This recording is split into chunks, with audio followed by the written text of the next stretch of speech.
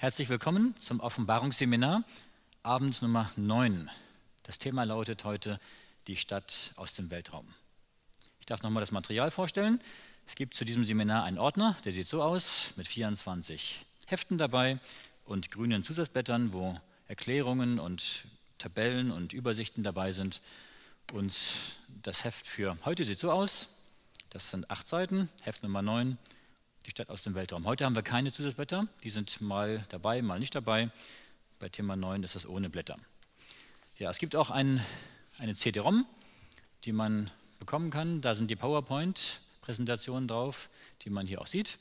Und wenn man das Seminar selber halten möchte und auch die Unterlagen, die Teilnehmerunterlagen sind auch dabei. Das Thema heute, die Stadt aus dem Weltraum, ist das schönste Thema vom gesamten Seminar. Wir werden nämlich darüber nachdenken, was Gott für uns vorbereitet hat, die neue Erde, die ewige Heimat. Ich darf euch einladen, zu einem Gebet aufzustehen.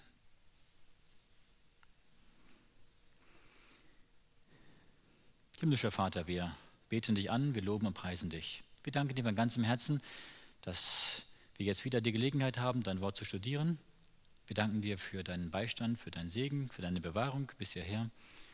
Wir bitten dich jetzt, wenn wir dein Wort studieren, dass wir es verstehen, dass wir Freude daran haben und dass du unsere Herzen öffnest.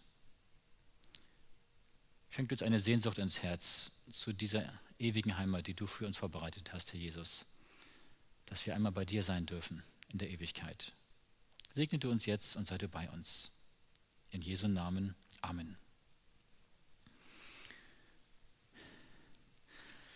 Ja, was werden Sie in der Zukunft tun? Ich meine jetzt nicht morgen oder nächste Woche oder übernächste Woche, auch nicht nächstes Jahr, sondern was werden Sie so in zwei Millionen Jahren machen oder in fünf Millionen Jahren? Ähm, haben Sie schon Pläne dafür gemacht? Also ich weiß schon, was ich machen werde. Ich bin dort. Dort, was wir heute betrachten werden, was wir uns heute anschauen werden.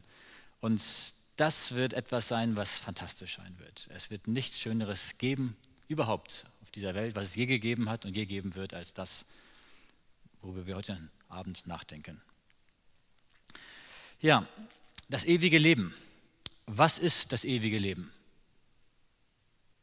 Wir lesen eine Definition, was Jesus gesagt hat über das ewige Leben in Johannes Kapitel 17, Vers 3. Johannes Kapitel 17, Vers 3. Ich habe auch die Seitenzahlen mit angegeben in der Luther 84 Übersetzung, Neues Testament, Seite 133. Johannes Kapitel 17, Vers 3.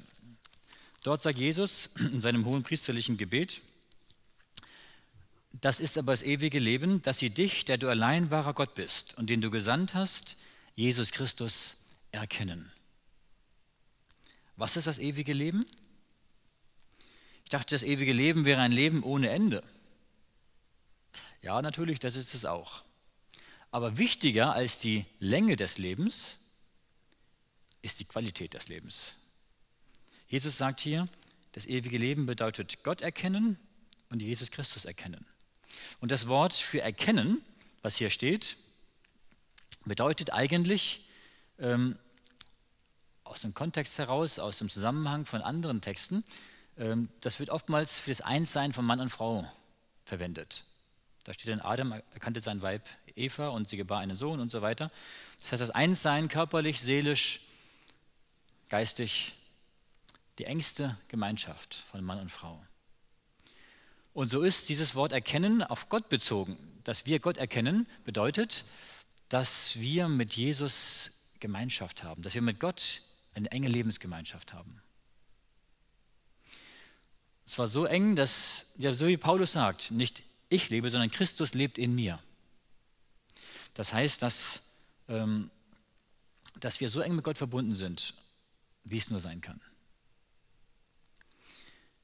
Deswegen, es geht nicht nur um die Quantität, nicht um die Länge, sondern um die Qualität des Lebens. Stellen Sie sich vor, das Leben würde ewig sein, so wie es jetzt ist. Würde Ihnen das Spaß machen? Würden Sie sagen, jawohl, das mache ich, das würde ich gerne. Es gibt auch genügend Leid und Probleme und Krankheit und Schmerzen und Sorgen. Das Leben kann zwar auch schön sein, aber das Leben kann auch belastend sein. Und das echte Leben, das wahre Leben, das ewige Leben, das Leben mit der echten Qualität, das kommt erst noch. Ich bin sogar überzeugt, dass dieses Leben, was wir hier haben, naja, 50, 60, 70 Jahre vielleicht, vielleicht 80, dass das eigentlich nur ein, ja, eine, eine Entscheidungszeit ist, damit wir am Ende bei Gott sein können. Hier entscheidet sich, ob der Mensch die Ewigkeit bei Gott verbringt oder ewig tot ist. Deswegen ist das so wichtig, dass wir dieses Leben in der richtigen Priorität auch leben. Ähm, dass wir dieses Leben nicht so wichtig nehmen. Manche Leute leben so, als ob es nur dieses Leben geben würde. Aber nein, äh, das eigentliche Leben kommt erst noch. Und vor allen Dingen, wenn man sich vorstellt, erstens die Qualität, der Unterschied, das Leben jetzt mit Sorgen, mit Leid, mit Nöten und dann ein Leben ohne Sorgen, ohne Leid, ohne Krankheit. Und auch noch die Länge. Stellen Sie sich vor, Sie haben denn 100 Jahre, 1000 Jahre, Millionen Jahre, Milliarden Jahre gelebt und dann sagen Sie erst, ist die erste Sekunde vergangene Ewigkeit. Denn was da hinten herkommt, ist noch so lang, ist noch viel, viel länger als das, was schon gewesen ist. Also die Ewigkeit wird so lang sein. Wie, wie lang ist die Ewigkeit?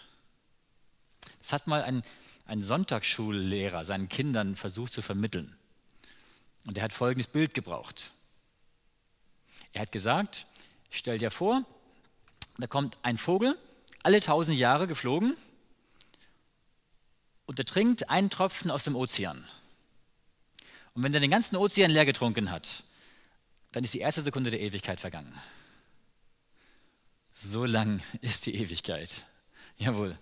Ähm, aber das wird schon, also auf jeden Fall langweilig wird uns nicht werden dort. Das werden wir uns nachher anschauen, was wir da alles machen werden. Das ist nachher eins unser, das was unser Thema nachher auch ist, dass wir da kein, keine Langeweile haben werden. Ja. Ähm, in Römer Kapitel 8, Vers 18 sagt Paulus auch was über die, das ewige Leben. Römer Kapitel 8, Vers 18.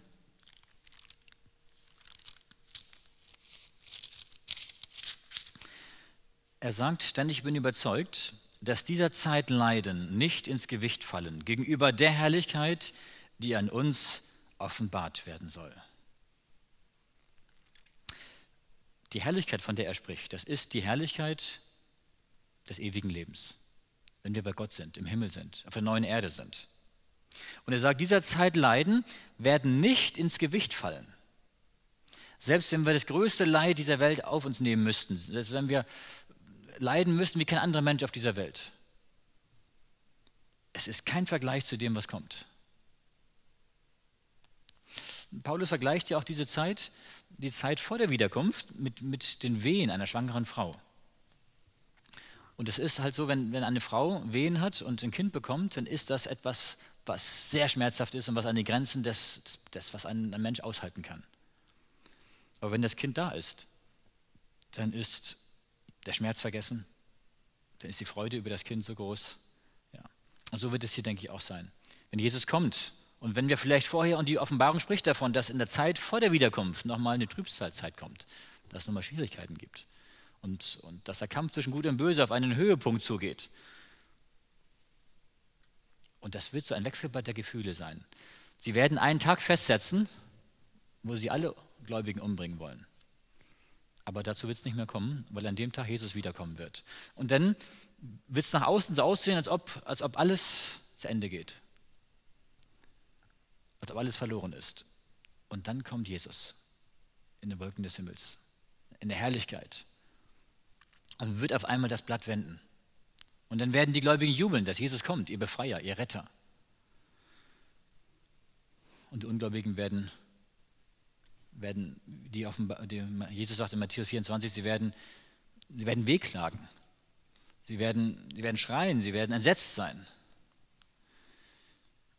Die Herrlichkeit, die kommt, ist so fantastisch, so schön. Und da werden wir uns überlegen, was war gerade gewesen? Ich kann mich gar nicht mehr erinnern. Weil die Herrlichkeit so, so viel größer und schöner ist als alles, was wir uns überhaupt in unserem, in unserem Leben vorstellen können. Das heißt, alle unsere Vorstellungskraft wird noch weit übertroffen. Manchmal sagt man so schön, die Vorfreude ist die schönste Freude. Und in diesem Leben ist es manchmal so. Wenn irgendwas Schönes kommt, dann freuen wir uns schon lange darauf. Wenn es dann da ist, dann freuen wir uns vielleicht auch, aber ja, äh, vielleicht nicht mehr ganz so doll, wie wir uns vorher gefreut haben. Hier wird es anders sein. Wir können uns das Schönste ausmalen, das Schönste ausdenken, die größte Vorfreude haben. Und die Wirklichkeit wird unsere Vorstellung noch weit, weit übertreffen. Und das Schöne ist, keiner wird enttäuscht sein. Es wird niemanden geben, der im Himmel ist und sagt, na, ich habe mir den Himmel aber anders vorgestellt. Das ist aber komisch hier. Das ist aber, hätte ich, mir, hätte ich das gewusst, also dann hätte ich das lieber doch nicht gemacht. Nein, wird es nicht geben. Es wird niemanden geben, der dort unzufrieden ist mit dem, was Gott für ihn vorbereitet hat. Gibt es nicht. Weil die Herrlichkeit so schön ist. Schöner als unsere kühnsten Vorstellungen. Und schöner als alles, was wir uns erträumen können, was wir je erlebt haben und alles, was, ja. Paulus sagt, kein Vergleich mit dem jetzigen Leben. Was sagt Paulus über die zukünftige Herrlichkeit? Es ist wirklich, das Leben in der Herrlichkeit Gottes wird so schön werden, dass es selbst unsere kühnsten Träume weit übertreffen wird. Und deshalb dürfen wir uns die schönsten Dinge ausmalen. Gott hat uns schon ein bisschen einen kleinen Blick durch Schlüsselloch geschenkt für diese neue Welt, damit wir uns schon freuen können darauf, damit wir eine Sehnsucht haben danach, damit das Reich Gottes in unserem Leben eine, eine richtige Priorität hat. Und damit wir die Dinge dieser Welt richtig einordnen. Und dass wir die Dinge dieser Welt nicht so wichtig nehmen, wie es manchmal doch geschieht im Alltag. Ja, deswegen ähm, das ewige Leben. Das ist etwas sehr Schönes. Drei Dinge wollen wir heute Abend mitnehmen. Wenn, ja, drei Dinge sollten wir behalten, die wir so für uns mit nach Hause nehmen. Erstens, der Himmel, die neue Erde sind ein realer Ort. Wir werden also nicht irgendwo ähm, körperlos umherschweben und dann auf einer Wolke sitzen und Harfe spielen. Ich weiß auch gar nicht, wie Seelen auf einer Harfe spielen sollen, wenn sie gar keine Arme haben, aber äh, das ist auch nur alles sowieso nicht das, was die Bibel sagt. Ähm, der Himmel, die neue Erde, das neue Jerusalem, die Stadt aus dem Weltraum, unser Thema heute, sind ein realer Ort. Wir lesen das in Johannes Kapitel 14, Verse 1 bis 3. Johannes Kapitel 14, die Verse 1 bis 3. Dort sagt Jesus, das sind seine Abschiedsreden, das war beim Abendmahl, ähm, und er hat ihm versprochen, was er denn tun wird, wenn er weggehen wird, nach seiner Auferstehung und Himmelfahrt. Da sagt er, Johannes 14, 1 bis 3, Euer Herz erschrecke nicht. Glaubt an Gott und glaubt an mich. In meines Vaters Hause sind viele Wohnungen. Wenn es nicht so wäre, hätte ich dann zu euch gesagt, ich gehe hin, euch die Städte zu bereiten. Und wenn ich hingehe, euch die Städte zu bereiten, will ich wiederkommen und euch zu mir nehmen, damit ihr seid, wo ich bin. Das sind fantastische Versprechungen Jesu, was er hier uns, den Jüngern damals und auch uns sagt. Ähm, wohin möchte Jesus uns mitnehmen, wenn er kommt? Jesus sagt, wenn er wiederkommt, wird er uns dorthin mitnehmen, wo er jetzt schon ist. Und wo ist er jetzt? Im Himmel.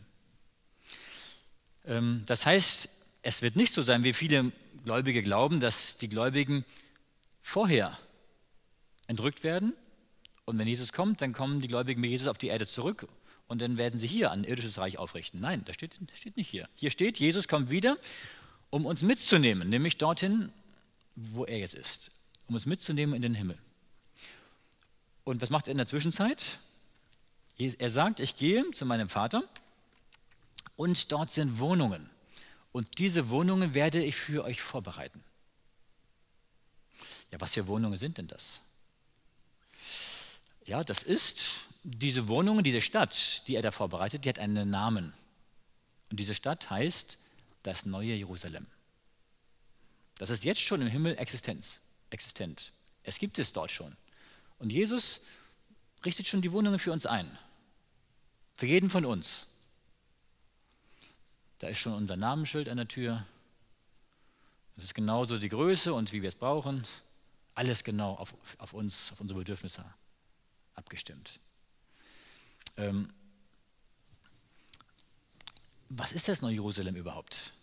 Also, ich könnte mir vorstellen, dass das zusammenhängt mit dem Garten Eden. Und zwar, ähm, als Adam und Eva auf, dieser, auf der Erde lebten, als Gott sie geschaffen hatte, gab es ja ähm, den Garten Eden, den Gott für sie extra gemacht hatte. Und es gab ja außerhalb des Gartens auch noch die Erde, die Gott geschaffen hatte. Es gab also die, diese Erde, äh, die geschaffene Erde und zusätzlich den Garten, den Garten Eden. Da war der Baum des Lebens drin und da waren die, der, Baum der Kenntnis war drin und naja, und viele andere Dinge. Und als sie gesündigt hatten, mussten sie aus dem Garten raus. Und da stand aber ein Engel vor, der, vor, dem, vor dem Eingang und hat das bewacht, dass sie nicht rein konnten. Und der Garten Eden stand, ja, wie lange er genau stand, steht in der Bibel nicht drin. Aber der stand bestimmt noch einige hundert Jahre dort. Als Andenken für Adam und Eva, auch für die anderen Menschen, dass sie wussten, was haben sie verpasst? Was war mal ihre Heimat? Und was ist jetzt? Übrigens in dem Buch ähm, Patriarchen und Propheten, da steht ein, ein paar interessante Sätze dazu drin. Da steht, dass dieser Garten Eden bis zur Sintflut auf der Erde gestanden hat. Und dass Gott ihn dann in den Himmel genommen hat. Und ich glaube, das ist meine persönliche Überzeugung, dass dieser Garten Eden das neue Jerusalem ist. Dass Jesus das ein bisschen umbaut. Ein paar mehr Wohnungen rein dazu macht, damit wir auch alle, dass nicht nur Adam und Eva darin wohnen können, sondern dass wir alle darin wohnen können. Und dass wir dann, deswegen, ich glaube, dass die, dass die Stadt auch nicht so unbedingt, die Stadt, wir werden es nachher lesen, gleich von der, von der Stadt, ähm, dass das alles immer nur so, wie wir unsere heutigen Städte haben, mit Beton und, und, und mit, mit, mit ja, auch wenn es goldener Beton ist, aber dass das alles immer nur so, äh, ich glaube, dass das sehr viel Natur hat. Äh, für, für sie damals war eine Stadt etwas, was Sicherheit gegeben hat. Sicherheit, Geborgenheit, Leben, äh, Gemeinschaft. Wir würden heute eher sagen, äh, ein, ein Garten ist für uns etwas entspannender und Schöneres als, als eine Großstadt. Ja, wo man dann vielleicht die Hochhäuser hat und oben ein Stück in den Himmel da oben irgendwo sieht. Ich denke, das ist nicht das, was, was Gott für uns vorgesehen hat, wo wir uns erholen können. Wenn, wenn der Mensch sich erholen will, wo geht er hin? In die Natur. Ans Meer, das Meeresrauschen, äh, in die Berge, Vogelgezwitscher, das Plätschern vom Bach, das Blätterrauschen, das sind, das sind Geräusche, das sind, das sind Eindrücke, die uns zur Ruhe kommen lassen. Wenn wir Stress haben, wenn wir, ja, wenn wir, wenn wir irgendwo gehetzt sind, dann ist es gut, wenn wir einfach in die Natur gehen und dort abschalten. Das baut uns wieder auf, psychisch wieder auf. Und deswegen glaube ich auch, dass Gott das neue Jerusalem genauso für uns vorbereitet, wie wir auch, wie es uns das gut tut ein Ort. Und da ist bestimmt schon eine Wohnung drin, wo dann schon dran steht, Olaf Schröer. Ja. Und da die Wohnung, die ist für mich reserviert. Ja.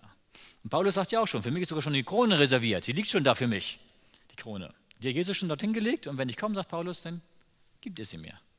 Ja. Ähm, Jesus nimmt uns mit. Er bereitet uns für uns eine Wohnung vor. Wir müssen, wenn wir in den Himmel kommen, nicht erst noch unsere Wohnung einrichten und tapezieren und streichen und nein, das ist alles fertig. Ja. Jesus hat für uns alles gemacht. Ähm, Offenbarung 21. Dort steht, was Gott dann machen wird. Wir hatten beim letzten Thema davon gesprochen, ähm, dass wir in den tausend Jahren im Himmel sind, im neuen Jerusalem. Und dass nach den tausend Jahren dann äh, das neue Jerusalem auf diese Erde herabkommt und dass nochmal ein Kampf sein wird, dass die Ungläubigen auferstehen und dass äh, dann Satan die Ungläubigen verführt zum Kampf gegen die Stadt und dass sie dann die Stadt angreifen werden, aber Gott wird dann sie mit Feuer vernichten und dann wird mit der Sünde und dem Sünder endgültig Schluss gemacht. Das heißt, es wird abgerechnet und dass die Sünde nie wieder sein wird und auch nie wieder aufkommen wird. Ähm, und äh, dann wird Gott Folgendes machen. Das lesen wir in Offenbarung 21. Was nach der Vernichtung der alten Erde sein wird. Äh, Offenbarung 21, und das sind wunderbare Verse hier. Ähm, das Kapitel 21 der Offenbarung, das sollte man auswendig können. Das ist so so tiefgehend, so wohltuend, so fürs Herz so etwas. Ähm, das ist wirklich, wirklich schön. Das ist so trostreich, zu wissen, was Gott für uns vorbereitet. Hier steht, und ich sah einen neuen Himmel und eine neue Erde. Denn der erste Himmel und die erste Erde sind vergangen und das Meer ist nicht mehr. Und ich sah die heilige Stadt, das neue Jerusalem, von Gott aus dem Himmel herabkommen, bereitet wie eine geschmückte Braut für ihren Mann. Und ich hörte eine große Stimme von dem Thron her, die sprach, siehe da, die Hütte Gottes bei den Menschen. Und er wird bei ihnen wohnen, und sie werden sein Volk sein, und er selbst, Gott mit ihnen, wird ihr Gott sein. Das sind wunderbare Verse. Johannes sagt, er sah die alte Erde nicht mehr. Er sah einen neuen Himmel und eine neue Erde. Das heißt, Gott wird diese Erde neu schaffen. Als Gott diese Erde damals geschaffen hat, vor ungefähr 6000 Jahren, da hat kein Mensch zugeguckt. Da gab es noch keine Menschen. Gott hat die Menschen erst geschaffen am sechsten Tag und da war er mit der Schöpfung schon fast fertig. Und die Menschen waren das Letzte, was er geschaffen hat. Ähm, dann werden wir Gott zuschauen, wie er schafft, wie er eine neue Erde schafft. Das wird schon spannend sein. Dann sagt Gott, so und jetzt sollen hier ein paar Bäume stehen, da eine Fichte und da eine Buche und da eine Birke und auf einmal sind die da. Und sagt Gott, ja, und es soll hier ein Reh rumspringen und dann soll, ist es ein Löwe dort und da sollen ein paar Fische sein und ein Adler soll auch noch da. Ja, auf einmal fliegen die und sind die da. Ja? Es muss schon fantastisch sein, wenn Gott etwas sagt und auf einmal ist es da. Wir können Gott zuschauen. Und ich denke, wir können auch dann sehen, wie Gott sich freut an dem, was er macht. Denn Gott freut sich an seiner Schöpfung.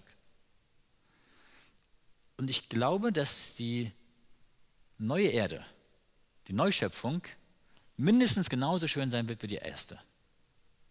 Ob sie noch besser ist, weiß ich nicht. Ob Gott noch was besser machen kann, als was er schon gemacht hat. Äh, aber auf jeden Fall ähm, ist es mindestens genauso schön. Und dann wird Gott diese neue Erde schaffen.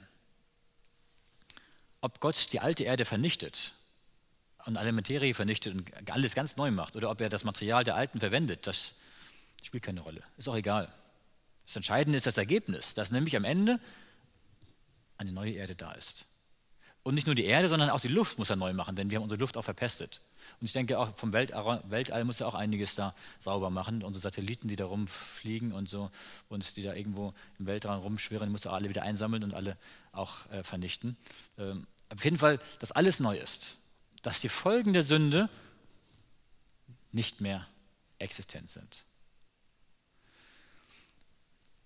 Und dann steht hier, es wird kein Meer mehr sein. Das war schade, oder? Das Meer ist doch so schön so am Meer zu stehen. Was meint das? Also ich glaube, dass das folgendermaßen damit gemeint ist. Ähm, wenn wir unsere Weltkugel anschauen, unseren Globus, dann sehen wir ja, dass Amerika und Europa und Afrika zusammenpassen, wenn man die zusammenschieben würde. Und wenn man nach Australien noch ranschiebt und so weiter, ja. Und die Forscher sagen ja auch, die Wissenschaftler sagen, sie glauben, dass die Welt früher einmal einen Kontinent hatte. Und sie glauben, dass es irgendwann mal über Millionen von Jahren auseinandergedriftet ist. Man kann heute noch feststellen, dass Europa und Amerika jedes Jahr um ein paar Zentimeter sich voneinander entfernen. Das heißt also, man muss jedes Jahr ein bisschen länger fliegen, wenn man, wenn man nach Amerika fliegt, weil die Entfernung immer größer wird. Es sind zwar ein paar Zentimeter nur, aber es, es ist immerhin. Und das heißt, die Platten der Erde verschieben sich heute noch. Ähm, ich glaube, dass das geschehen ist durch die Sintflut, nach der Sintflut. Da steht auch in dem, in dem ersten Mose drin, dass zu einer gewissen Zeit, wo der Peleg geboren wurde, er wurde deswegen auch Peleg genannt, das heißt Zerteilung, als die Erde zerteilt wurde. Das war nach der Sintflut gewesen. Und ähm, dass vor der Sintflut es nur einen Kontinent gab. Und ähm, das bedeutet, dass jetzt die Meere, der Atlantik, das Mittelmeer, der Indische Ozean, einige Meere, die Menschen trennen voneinander. Und ich glaube, dass diese Meere, die zwischen den Kontinenten liegen, dass die hier mit gemeint sind. Die wird es nicht mehr geben.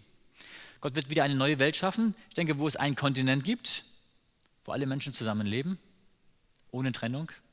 Aber außenrum, glaube ich, da wird es schon noch mehr geben. Denn die Frage ist auch, was ist mit den Salzwasserfischen? Ja, die müssen ja auch noch irgendwo bleiben. Ja? Ähm, die, ähm, die werden sicherlich dann an dem Meer außenrum dann sein. Ja.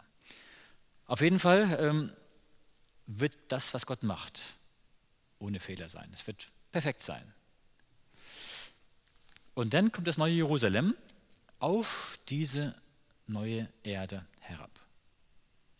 Gott wird irgendwo da eine, eine Ebene dafür vorbereitet haben und dann kommt es auf der herab und dann ist das neue Jerusalem.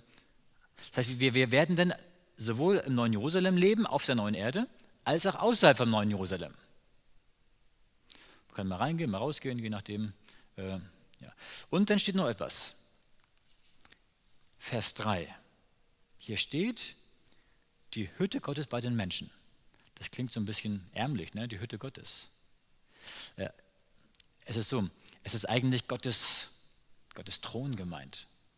Gott, Gott ist ja eigentlich allgegenwärtig, Gott ist überall. Aber trotzdem gibt es einen Punkt, auch jetzt gibt es einen Punkt im Himmel, wo die Engel und die anderen Wesen Gott anbeten. Übrigens, die Bibel spricht von drei Himmel. Es gibt drei Himmel. Der erste Himmel ist unsere Lufthülle. Der zweite Himmel ist das Universum, der Sternenhimmel. Und der dritte Himmel ist da, wo Gottes Thron ist.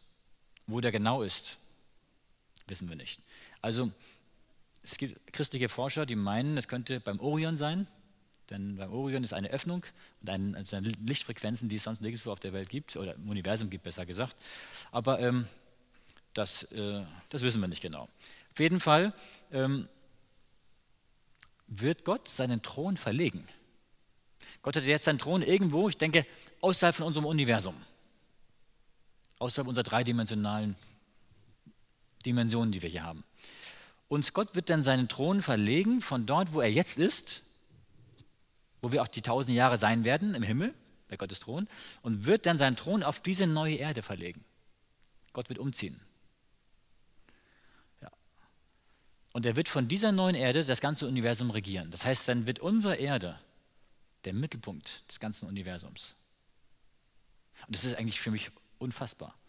Denn die Bibel spricht davon, es gibt noch andere Welten, die nicht gefallen sind, wo auch Wesen, wo auch Menschen leben, ähnlich wie wir. Die aber nicht gefallen sind, die auch versucht wurden, aber nicht gefallen sind. Und Gott kommt auf diese Erde. Wir sind die einzige Welt, die gefallen ist. Und hier ist dieser Kampf zwischen Gut und Böse, der hier stattfindet. Und gerade unsere, wir sind das schwarze Schaf, kann man sagen. Uns wählt Gott aus, dass er hier mit uns leben wird. Warum lebt Gott nicht bei den anderen? Natürlich, Gott ist ja überall und die anderen werden auch herkommen und Gott, Jesus wird auch die anderen besuchen, keine Frage. Und trotzdem haben wir dann ein Vorrecht. Eigentlich die, die wir eigentlich am, am bösesten sind, haben hinterher das größte Vorrecht. Aber ich denke, es liegt auch daran, ich glaube, dass Gott alle seine Geschöpfe liebt. Aber ich bin trotzdem überzeugt, dass die Liebe Jesu und die Liebe Gottes zu uns Menschen ein bisschen größer ist als zu den anderen. Warum? Jesus ist Mensch geworden. Er ist einer von uns geworden. Er ist nicht ein Wesen geworden einer anderen Welt. Er ist, er, ist, er ist, Mensch geworden und als Mensch hat er hier gelebt, als Mensch gelitten, ist für uns gestorben. Und ähm, deswegen hat er sich auf ewig mit uns Menschen verbunden. Er wird übrigens in der Ewigkeit seinen menschlichen Körper behalten. Und deswegen ist er mit uns Menschen eng verbunden. Und es gibt noch einen zweiten Grund. Jesus sagt einmal, wem viel vergeben ist, der liebt viel. Wir werden Gott so dankbar sein und Jesus so dankbar sein wie kein anderer, weil wir haben die Sünde am eigenen Leib erlebt. Wir haben äh, ja, die anderen Wesen, die haben nur zugeschaut, was hier passiert. Das ist schon schlimm genug. Aber wir haben selbst erlebt, was Sünde ist, wie schlimm Sünde ist und wie Sünde uns gefangen hält, wie wir aus eigener Kraft der Sünde nicht widerstehen können und wie Gott uns aus der Sünde herausgerettet hat. Ähm, und von daher äh, ist unsere Liebe zu Gott die Dankbarkeit zu Gott unendlich groß. Ich denke, es gibt noch einen dritten Grund, warum Gott gerade unsere Welt aussucht, um hier zu leben. Das erste, weil er selbst Mensch geworden ist. Das zweite ist, weil er uns erlöst hat, weil wir ihm ja, große Dankbarkeit und Liebe zu ihm haben, weil er uns erlöst hat. Und das dritte ist, wir Menschen sind die Garantie dafür, dass die Sünde nie wieder aufkommt. Ähm, eine Frage. Wird, werden wir auf der neuen Erde noch irgendwann wieder sündigen? Ich glaube nicht. Ähm, wir werden gleich einen Text noch dazu lesen, der was dazu sagt. Ähm, eine andere Frage. Können wir nicht mehr sündigen? Oder werden wir nicht mehr sündigen? Das heißt, ist die Möglichkeit zur Sünde noch da oder ist sie nicht mehr da? Ich bin überzeugt, die Möglichkeit zur Sünde wird immer da sein. Warum? Weil Gott Liebe ist. Und als liebender Gott möchte er, dass er wieder geliebt wird von seinen Geschöpfen. Von den Engeln, von den Menschen, von den anderen Wesen. Und Liebe ist immer freiwillig. Das heißt, dass ähm, die, die freie Wahl, die freie Möglichkeit jederzeit besteht. Das heißt, jedes Wesen könnte, wenn es wollte, irgendwann sagen, ich will nicht mehr. So wie Satan damals irgendwann gesagt hat, ich, ich liebe Gott nicht mehr und Gott ist nicht gerecht und Gott ist nicht liebevoll und sich gegen Gott gestellt hat. Könnte es sein, dass irgendwann es wieder rein theoretisch wieder aufkommen könnte. Weil Gott jedem Wesen die freie Wahl immer noch lässt. Aber es wird nicht mehr sein. Warum nicht? Weil das ganze Universum, wir Menschen, gegen die Sünde geimpft sind. Wir haben die, die, die, den Schrecken und das Leid der Sünde erlebt. Und wir sagen nie wieder. Ähm, und von daher, ähm, selbst wenn irgendein Wesen sündigen würde, rein theoretisch, aber was der nicht sein wird, wenn ein Wesen sündigen würde, dann könnte Gott, ohne dass er das, das seine Liebe und Gerechtigkeit in Frage stellt, dann könnte Gott dieses Wesen sterben lassen und alle würden es verstehen. Alle würden sagen, es ist gut so.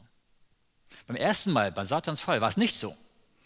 Da hat noch niemand die Sünde erkannt. Hätte Gott da Satan sterben lassen, er hätte gar nicht ihn aktiv umbringen müssen. Er hätte nur Satan seine eigene Sünde, und die Sünde ist Trennung von Gott und damit Trennung vom Leben. Er hätte nur Satan seine eigene Sünde tragen lassen müssen in dem Moment und er wäre gestorben. Hätte Gott das gemacht, dann hätten das die Engel und die Wesen damals nicht verstanden. Dann hätte Satan recht gehabt, der gesagt hat, Gott ist ein Despot, der will nur Anbetung für sich und wer nicht das tut, was er will, den tut er gleich vernichten. Hätte er recht gehabt. Deswegen konnte Gott nicht die, die, den Aufruhr Satans mit Gewalt besiegen, sondern er musste seinen Charakter offenbaren mit Liebe. Ähm, deswegen, damals konnte Gott das nicht tun, weil dann die anderen Engel Angst vor Gott ge gehabt hätten. Und sie hätten Gott aus Furcht gedient nicht aus Liebe. Wenn jetzt die Sünde vorbei ist, dann wird kein einziges Wesen mehr im Universum Wert darauf legen, das nochmal durchzumachen. Alle werden sagen, bloß nicht. Und deswegen ähm, werden wir unseren freien Willen behalten. Den werden wir behalten. Nur aus dem freien Willen können wir auch Gott wirklich lieben. Aber der freie Wille wird nicht mehr zur Sünde führen und nicht mehr missbraucht werden. Und das ist die gute Nachricht. Gott schafft die neue Erde. Gott wird bei uns wohnen. Er wird sein, ihr Gott sein und sie werden sein Volk sein. Das bedeutet, Gott wird mit uns gemeinsam hier wohnen auf der neuen Erde. Das wird wunderbar sein. In Offenbarung 21, Vers 10 bis 22, Vers 5 haben wir eine Beschreibung des neuen Jerusalems. Und das wollen wir uns jetzt mal genauer, genauer anschauen. Offenbarung 21, Vers 10 bis 22, Vers 5. Das ist ein längerer Abschnitt. Und er führte mich hin im Geist auf einen großen und hohen Berg und zeigte mir die heilige Stadt Jerusalem, herniederkommend aus dem Himmel von Gott. Die hatte die Herrlichkeit Gottes Ihr Licht war gleich dem alleredelsten Stein, einem Jaspis, klar wie Kristall. Sie hatte eine große und hohe Mauer und hatte zwölf Tore und auf den Toren zwölf Engel und Namen darauf geschrieben, nämlich die Namen der zwölf Stämme der Israeliten. Von Osten drei Tore, von Norden drei Tore, von Süden drei Tore, von Westen drei Tore. Und die Mauer der Stadt hatte zwölf Grundsteine und auf ihnen die zwölf Namen der zwölf Apostel des Lammes. Und der mit mir redete, hatte einen Messstab, ein goldenes Rohr, um die Stadt zu messen und ihre Tore und ihre Mauer. Und die Stadt ist viereckig angelegt und ihre Länge ist so groß wie die Breite. Und er maß die Stadt mit dem Rohr 12.000 Stadien. Die Länge und die Breite und die Höhe der Stadt sind gleich. Und er maß ihre Mauer 144 Ellen nach Menschenmaß, das der Engel gebrauchte. Und ihr Mauerwerk war aus Jaspis und die Stadt aus reinem Gold, gleich reinem Glas. Und die Grundsteine der Mauer um die Stadt waren geschmückt mit allerlei Edelsteinen. Der erste Grundstein war ein Jaspis, der zweite ein Saphir, der dritte ein Chalcedon, der vierte ein Smaragd, der fünfte ein Sardonyx, der sechste ein Sarder, der siebente ein Chrysolit, der achte ein Beryl, der neunte ein Topas, der zehnte ein Chrysopras, der elfte ein Hyazinth, der zwölfte ein Amethyst. Und die zwölf Tore waren zwölf Perlen. Ein jedes Tor war aus einer einzigen Perle. Und der Marktplatz der Stadt war aus reinem Gold, wie durchscheinendes Glas. Und ich sah keinen Tempel darin, denn der Herr, der allmächtige Gott, ist ihr Tempel, er und das Lamm. Und die Stadt bedarf keiner Sonne noch des Mondes, dass sie erscheinen. Denn die Herrlichkeit Gottes erleuchtet sie und ihre Leuchte ist das Lamm. Und die Völker werden wandeln in ihrem Licht und die Könige auf Erden werden ihre Herrlichkeit in sie bringen. Und ihre Tore werden nicht verschlossen am Tage, denn da wird keine Nacht mehr sein. Und man wird die Pracht und den Reichtum der Völker in sie bringen. Und nichts Unreines wird hineinkommen und keiner, der Gräuel tut und Lüge, sondern allein die geschrieben stehen in dem Lebensbuch des Lammes. Und er zeigte mir einen Strom lebendigen Wassers, klar wie Kristall, der ausgeht von dem Thron Gottes und des Lammes. Mitten auf dem Platz und auf beiden Seiten des Stromes Bäume des, Lebens, Bäume des Lebens. Die tragen zwölfmal Frucht. Jeden Monat bringen sie ihre Frucht. Und die Blätter der Bäume dienen zur Heilung der Völker. Und es wird nichts Verfluchtes mehr sein. Und der Thron Gottes und des Lammes wird in der Stadt sein. Und seine Knechte werden ihm dienen. Und sein Angesicht sehen und sein Name wird an ihren Stirnen sein. Und es wird keine Nacht mehr sein. Und sie bedürfen keiner Leuchte und nicht des Lichtes der Sonne. Denn Gott, der Herr, wird sie erleuchten. Und sie werden regieren von Ewigkeit zu Ewigkeit. Das ist eine fantastische Beschreibung des neuen Jerusalems. Und hier sehen wir auch schon, dass hier auch die Bäume beschrieben werden. Also es wird auch grün sein, es wird, es wird eigentlich ein Garten sein. Und wir sehen auch, dass der Johannes versucht, etwas zu beschreiben, was er gesehen hat. Und es ist so herrlich, dass er keine Worte findet dafür. Er sagt, es ist aus, aus, aus, aus Gold gleich reinem Glas. Haben Sie schon mal Gold gesehen, was, was durchscheinend ist wie Glas? Also das sind Materialien, er hat die schönsten Materialien, die es gibt, hier beschrieben und das ist noch, es wird noch viel schöner sein. Ihm fehlen die Worte dafür. Das neue Jerusalem. Welche Beschreibung haben wir von diesem neuen Jerusalem? Einmal die Größe. Hier wird extra angegeben, wie groß sie ist. Hier steht, sie ist 12.000 Stadien groß. Wie viel ist das? Nun, wir haben eine Umrechnung, wenn Sie Luther 84 Übersetzung haben, wenn Sie zwei Seiten weiterschlagen, da steht hier Maße, Gewichte und, und Münzen und dann steht dort die Längenmaße. Dann steht hier Wegmaße im Neuen Testament, ein Stadion sind 185 Meter. Das ist so das Maß, was sie damals hatten. Müssen wir also rechnen, ein Stadion sind 185 Meter, müssen wir also 12.000 mal 185 rechnen. Wer ist gut im Kopf rechnen? Also ich habe schon ausgerechnet, dann geht es ein bisschen leichter. Ähm, das sind 2220 Kilometer, eine Seitenlänge. Und die Stadt ist ja viereckig, quadratisch angelegt. Das heißt so und so. Ja. Äh, und eine Seitenlänge 2220 Kilometer. Also eine riesengroße Stadt. Ähm, es ist ungefähr die Entfernung von Berlin nach Madrid. Und das dann im Quadrat.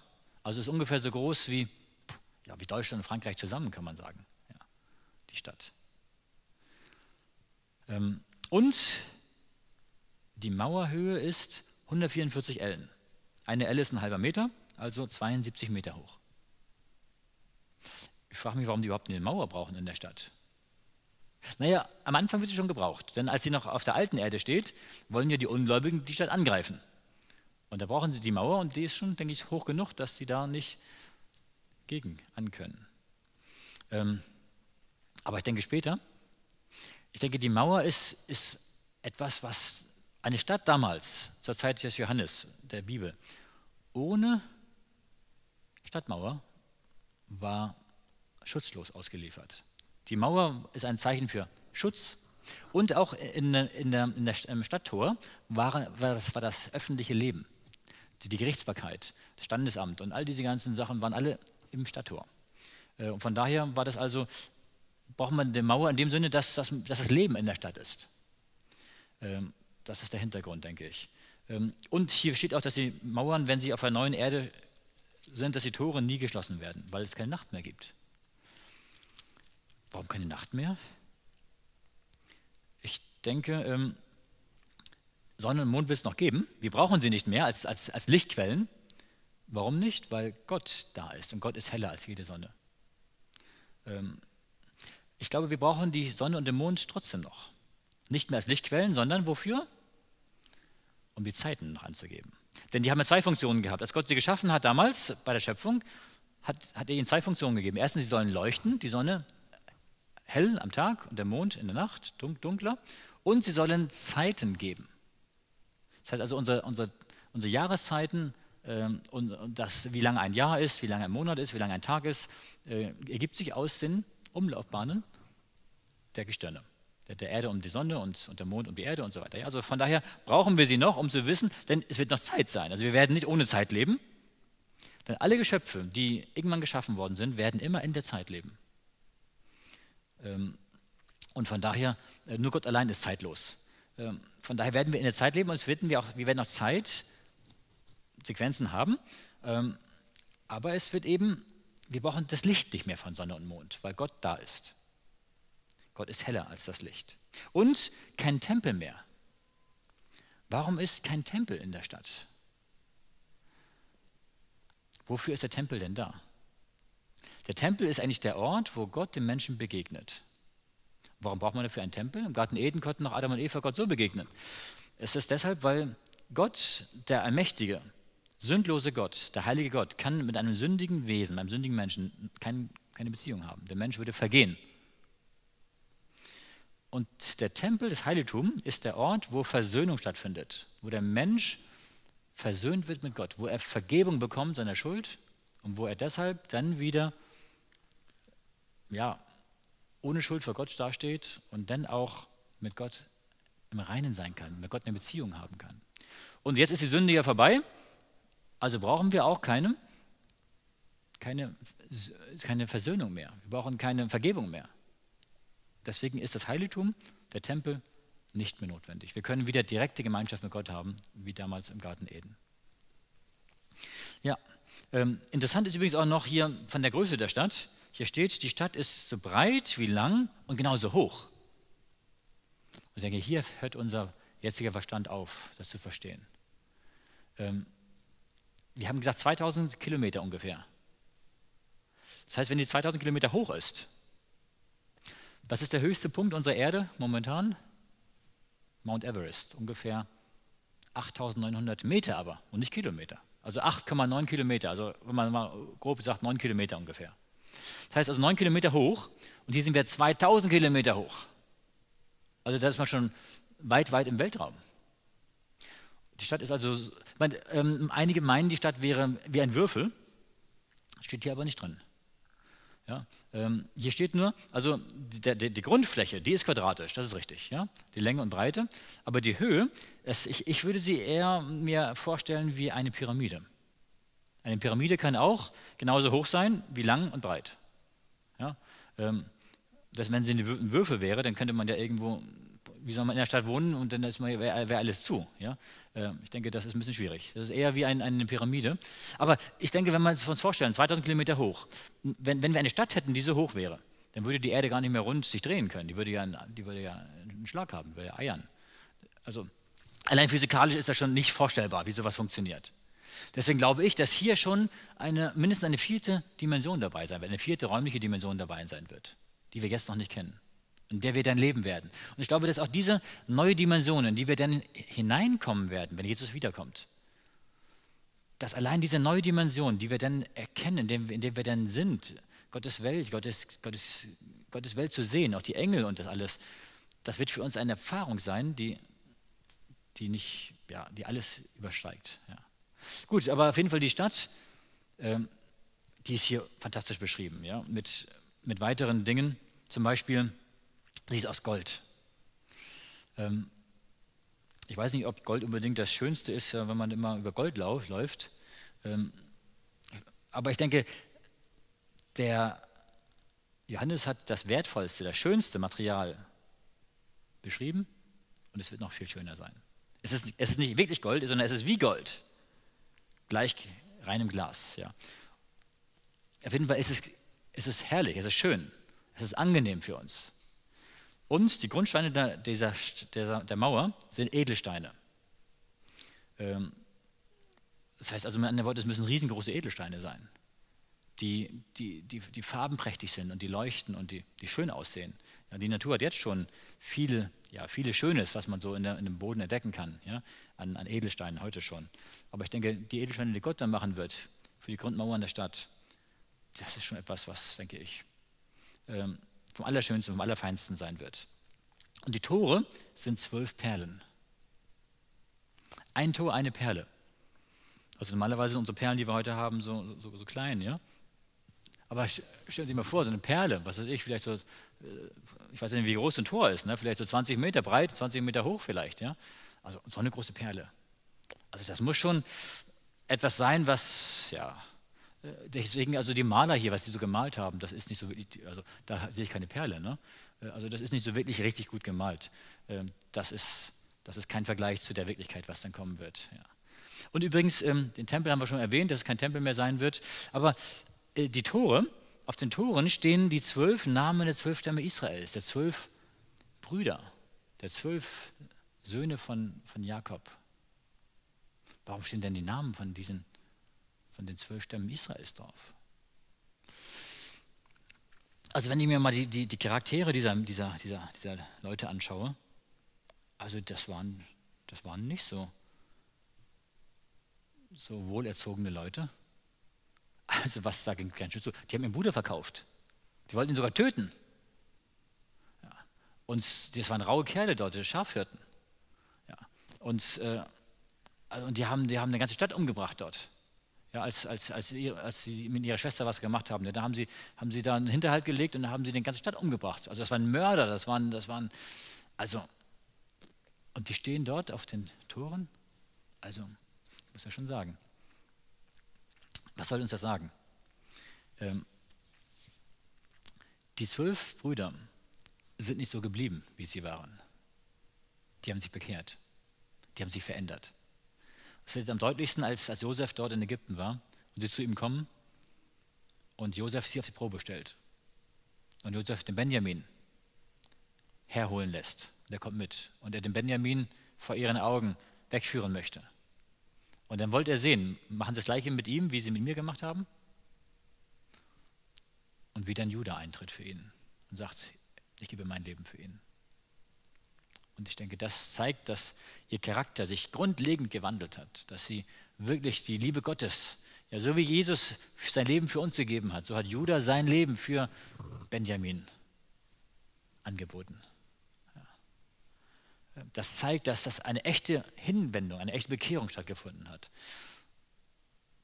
Und das bedeutet, egal wie schlecht sie auch sein mögen, Egal wie, wie böse ein Mensch ist, egal was er gemacht hat und wie viele Menschen er auf dem Gewissen hat umgebracht hat und wie, wie, viel, wie viel böse Taten er getan hat. Für jeden Menschen gibt es Hoffnung. Jeder Mensch kann umkehren zu Gott. Jeder kann Jesus in sein Leben einlassen. Jeder kann sein Leben Gott übergeben. Und Gott kann jeden Menschen verändern. Jeden. Und dann kann aus einem Menschen, ein, aus einem bösen Menschen, ein guter Mensch werden. Gott möchte uns verändern nach seinem Ebenbild. Und deswegen, wenn für diese Raubeiner, kann man sagen, Hoffnung war, dann ist für uns auch Hoffnung. Jeder Mensch hat die Chance, diese Stadt zu betreten. Jeder, der möchte. Es ist unsere eigene Wahl. Wenn wir sagen, nein, ich will nicht, zwingt Gott uns nicht. Es wird niemand gegen seinen Willen im Himmel sein. Stell dir vor, dass jemand im Himmel und der sagt, ich will aber gar nicht hier sein. Gott sagt aber, du musst aber hier sein. Nein, ich will aber gar nicht. Nein, es wird nichts, wird es nicht geben. Es wird keiner gegen seinen Willen, wird keiner gezwungen, dort zu sein. Gott sagt, nein, wenn du nicht willst, kannst gerne wählen. Und es ist so einfach. Das Einzige, was wir machen müssen, um dort zu sein, ist, dass wir uns entscheiden, das Angebot, dass Jesus für uns gestorben ist, anzunehmen, dass wir ihn in unser Leben aufnehmen, dass wir die Erlösung, die wir geschenkt bekommen, annehmen. Nur Ja sagen dazu. Ist so einfach. Ja, auf jeden Fall, kein Tempel ist in dieser neuen Stadt und keine Nacht. Ist aber auch schade, ne? keine Nacht. Ist auch schön, wenn man sich ein bisschen schlafen legen kann, ein bisschen ausruhen. Naja, ich denke, so eine Nacht in dem Sinne, dass man jetzt die ganze Nacht acht Stunden schläft, wird vielleicht nicht mehr sein. Aber ich denke, so ein kleines Nickerchen machen kann man doch vielleicht nochmal, wenn man so möchte. Ich denke, müde werden wir auch nicht mehr, aber, aber trotzdem werden wir es auch ausruhen. Ja, Gott hat ja auch sich ausgeruht, als er die Welt geschaffen hat, hat er am siebten Tag geruht. Nicht, weil er müde war, sondern weil er sich gefreut hat an dem, was er gemacht hat. Und so denke ich, werden wir auch, wenn wir denn auch dort jeden siebten Tag ruhen werden, ähm, werden wir sicherlich auch ruhen und werden uns auch erfreuen an den Dingen, die Gott gemacht hat, die wir gemacht haben und allen der ganzen. Ja. Ähm, deswegen so ein bisschen ruhen werden wir schon, denke ich. Ja. ja. Und dann steht hier der Strom des Lebens. Klar wie Kristall. Also wenn ich mir das heutige Wasser anschaue, vor ein paar Wochen habe ich mal ein bisschen Analysen durchgelesen, unser heutiges, unser deutsches Trinkwasser. Also wir haben in Deutschland mit die, die, die, die, die laschesten ähm, Grenzwerte für Trinkwasser für ganz Europa. Also, dass wir immer so gutes Trinkwasser haben, das ist nicht nur deswegen, weil unsere Grenzwerte so lasch sind. Ja? Ähm, und was sie alles mit dem Trinkwasser machen, damit es überhaupt trinkbar ist, ja, habe ich jetzt letztens gelesen zum Beispiel, dass sie, dass sie das Trinkwasser mit Aluminium waschen. Und natürlich geht das Aluminium wieder raus, aber ein Teil bleibt doch drin von dem Aluminium. Ja? Und dann kann man sehen, es darf nur so und so viel Gramm pro Liter oder Milligramm oder, oder, oder Mikrogramm pro Liter Aluminium im Trinkwasser sein. Und das Aluminium, das ist höchst gefährlich, ja, das ist gesundheitsschädlich. Ja? Also deswegen, oder was die damit mit Fluor zusetzen oder mit Chlor zusetzen und mit allen möglichen zusetzen, das sind alles Dinge, die, die uns nicht gut tun. Das Wasser vom, Strom, vom, vom Thron Gottes das ist Wasser. Das wird schmecken. Das schmeckt besser als jeder Saft und als jede, jede Coca-Cola heute und jeder Kaffee. Das schmeckt, denke ich, das Wasser, das wird schmecken. Ach, das ist so richtig schöner als, als alles andere. Wenn man da einmal von getrunken hat, dann möchte man am liebsten nur noch da sitzen und den ganzen Tag nur noch trinken. Ja, so schönes Wasser ist das. Und vor allen Dingen das Wasser, denke ich, ist ja so wie der Baum des Lebens, ist es der Strom des Lebens. Ich glaube, dass man von dem Wasser auch Stärke bekommt, Kraft bekommt. Also, und ich denke, denn die, die, die, die Bäume generell dort, äh, ba die Bäume des Lebens, ich denke, einer reicht nicht aus, weil zu viele Menschen sind. Ja. Übrigens auch nochmal von der Größe der Stadt, von der Menge der Menschen. Ich denke, die Stadt ist so groß, dass eigentlich alle Menschen Platz hätten. Gott hat vorgesorgt, dass alle Menschen dabei sein könnten. Keiner muss draußen bleiben, weil der Platz nicht reicht. Ja. Alle Menschen hätten Platz, die wollen. Aber leider wollen die meisten nicht. Schade. Ja. Aber ähm, die, Bäume des Lebens. Und da hat Gott eben an dem Strom rechts und links ganz viele gepflanzt. Ja. Ähm, und die tragen zwölfmal im Jahr Frucht. Wofür brauchen wir die Bäume des Lebens? Es ist ja folgendes: Wir haben dann ja unsterbliche Körper. Aber wir haben die Unsterblichkeit ja nicht von uns selbst. Der Einzige, der unsterblich ist, von seinem Wesen her, ist Gott, sagt die Bibel. Aber Gott verleiht uns Unsterblichkeit. Wie? Durch die Bäume des Lebens. Das heißt, ähm, wir sind davon abhängig, dass wir von den Bäumen des Lebens essen und dadurch bekommen wir die Unsterblichkeit. Das heißt, dass wir nicht altern, dass wir ewig frisch, ewig jung bleiben durch die Bäume des Lebens. Ja. Zwölfmal im Jahr tragen die ihre Frucht. Heute Unsere Bäume, die tragen einmal im Jahr Frucht. Ja? Äh, die haben zwölfmal im Jahr. Also das ist schon, das wird schon schön sein. Ja. Und auch die anderen Bäume, die anderen Früchte. Also ich denke, da werden die Erdbeeren richtig wie Erdbeeren schmecken. Ja, und, und, die Pfirsiche und, die, und die, die, die, Apfelsinen sind dann nicht in grün gepflückt und dann hierher, ja, sondern die, die, richtig reif. Ja. Also die Früchte werden schmecken. Ich denke, besser als alles, was wir gegessen haben hier. Ja. Ich glaube, dass das, was Gott schafft, so gut ist und so gut schmeckt, dass alles, was wir Menschen hier uns selbst gemacht haben, kein Vergleich dazu ist. Und ich glaube auch generell, dass, dass alles, was wir an Nahrungsmitteln manchmal so industriell herstellen, manchmal werden da so viel Geschmacksverstärker reingemacht und so viel, so viel andere Sachen und Aromastoffe und sowas. Ähm, am schönsten, am besten ist immer noch das Natürliche. Das, das Obst, das Gemüse, was Gott, ja. Und wenn es richtig schön reif ist, und das ist doch wieder was Wunderbares. Und dort wird das noch viel schöner schmecken als auf dieser Erde. Was Gott macht, wird gut sein. Ja, der Himmel ist ein realer Ort. Es wird wirklich sein. Nicht irgendwo nur in einem luftleeren Raum irgendwo. Nein, Gott schafft eine neue Erde, ein neues Jerusalem. Wir haben die Beschreibung dabei. Ja.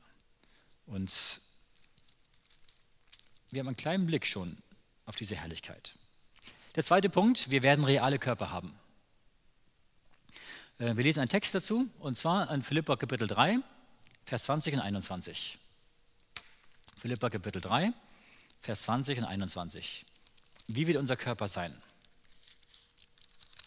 Dort heißt es, unser Bürgerrecht aber ist im Himmel, woher wir auch erwarten den Heiland, den Herrn Jesus Christus, der unseren nichtigen Leib verwandeln wird, dass er gleich werde seinem verherrlichten Leib nach der Kraft, mit der er sich alle Dinge untertan machen kann. Was steht hier? Unser Körper, unser Leib wird verwandelt, dass er gleich werde Jesu verherrlichtem Körper. Das bedeutet, als Jesus auferstanden ist von den Toten, hatte er einen anderen Körper als vorher. Vorher hatte er einen Körper wie wir. Die Bibel spricht davon, er war in allem wie wir. Er war Mensch wie wir. Äh, aber nach, bei der Auferstehung hat er einen neuen Körper bekommen. Und dieser neue Körper war schon der gleiche Körper, den wir auch bekommen werden. Es war ein menschlicher Körper, aber ja, sie konnten ihn, ja, wie kann man den Körper beschreiben von Jesus? Ich habe hier ein paar Stichpunkte gemacht. Ähm, es ist ein echter Körper gewesen. Also es ist nicht nur ein, ein Scheinkörper, nicht nur ein Geistwesen, sondern es ist ein, ein, ein Wesen mit einem echten Körper. Also sie konnten ihn anfassen. Ja, Jesus konnte essen. Er hat ja, als sie glaubten, es wäre ein Geist, hat er gesagt, habt ihr was zu essen da? Und da hat er was gegessen. Ähm, der Körper wird unsterblich sein. Das heißt, er wird nicht mehr altern, nicht mehr der Krankheit, dem Tod verfallen sein. Der Körper wird vollkommen sein. Da wird alles passen. Wir brauchen keine Brille mehr. Wir haben keine Blomben mehr in den Zähnen. Ja, wir, wir haben keine grauen Haare mehr. Es, ist, ja, es wird alles, ja, die Nase ist nicht mehr zu lang und die Ohren nicht mehr abstehend und, und die, wenn wir irgendwelche Narben am Körper haben, sind die alle weg und wir werden einen vollkommenen Körper haben. Und vor allen Dingen, wir werden wieder jung sein denke, wir werden ungefähr so jung sein wie so in der stärksten Kraft, so, so, so 20 bis 25, so in dem Alter vielleicht. Ja. Und werden immer so in dem Alter bleiben. Nicht mehr alt werden. Das versuchen sie ja heute schon, ne? irgendwelche Pillen zu finden, dass man nicht mehr alt wird. Ja? Aber vergebens. Ne? Äh, das, Gott hat gesagt, irgendwann ist bei 120 ist, ist Schluss. Ja? 120 Jahre und dann ist fertig. Ja? Mehr geht nicht. Und so sehen wir es heute auch. Aber ähm, ein Körper, der wirklich immer vor Lebensenergie strotzt. Dass man nicht mehr müde wird, nicht mehr ab ist, nicht mehr ja, keine Kopfschmerzen mehr hat und keine Rückenschmerzen mehr und keine. Ja, es ist alles ja, keine Krankheit. Es wird schon fantastisch sein, dieser Körper. 1. Korinther 13, Vers 12 lesen wir mal. 1. Korinther 13, Vers 12.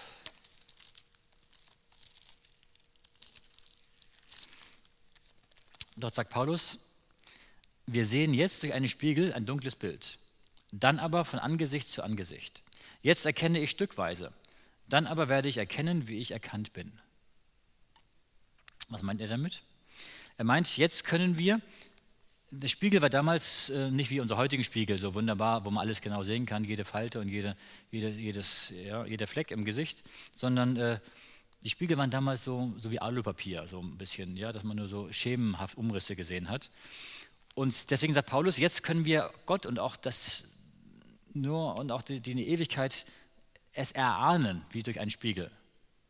Aber dann werden wir von Angesicht zu Angesicht sehen. Und dann werden wir erkennen, wie ich erkannt bin. Das heißt, wir werden uns wiedererkennen. Wir werden Jesus erkennen und Jesus wird uns erkennen und wir werden uns gegenseitig wiedererkennen. Wir werden, wir werden wir bleiben, unsere Identität. Wenn wir nicht mehr wir bleiben würden, dann könnte Gott gleich alle Menschen sterben lassen und neue Menschen schaffen und dorthin reinsetzen. Aber nein, das will er nicht. Er möchte uns, die, wie wir sind, mit unserer Identität, mit unseren, wie wir denken, mit unseren Gaben, unseren Fähigkeiten, äh, wie wir sind, möchte er uns, weil er uns liebt, weil er uns dort haben möchte. Das ist ja auch, wenn, wenn jemand ein Baby hat, sagt er ja auch nicht, naja, okay, kann man ruhig wegtun und können wir ein anderes Baby ja nehmen. Nein, Babys sind nicht austauschbar. Man, man hat, das, man hat das, das kleine Geschöpf hat man lieb, weil das sein eigenes Fleisch und Blut ist. Und so ist auch Gott mit uns. Gott hat uns geschaffen und er hat uns lieb und er möchte uns, uns persönlich möchte er dort haben. Deswegen wird er uns verändern, einen neuen Körper geben, einen vollkommenen Körper. Aber wie werden wir bleiben? Mit unserem Charakter, mit unseren Vorlieben, mit, mit dem, wie wir sind. Deswegen übrigens möchte Gott auch unseren Charakter jetzt schon verändern. Dass wir jetzt schon Jesus immer ähnlicher werden und äh, jetzt schon charakterlich wachsen dürfen. Aber auf jeden Fall, unser Körper wird dann vollkommen, also wir werden nicht irgendwo körperlos umherschweben uns und irgendwo, ja, äh, nein, wir werden uns wiedererkennen. Die Jünger haben auch Jesus wiedererkannt. Am Anfang die Emmaus-Jünger nicht, aber es war nicht der Grund, weil, weil er einen komischen Körper hatte, sondern weil Gott ihnen die Augen gehalten hat. Aber als Jesus unter sie trat, haben sie ihn erkannt. Und äh, auch später haben sie ihn erkannt. Das heißt, ähm, Jesus hatte einen Körper, der ähnlich aussah wie, sein Vor wie, er, wie er vorher war. Aber er konnte durch geschlossene Türen durchgehen, durch Wände durchgehen.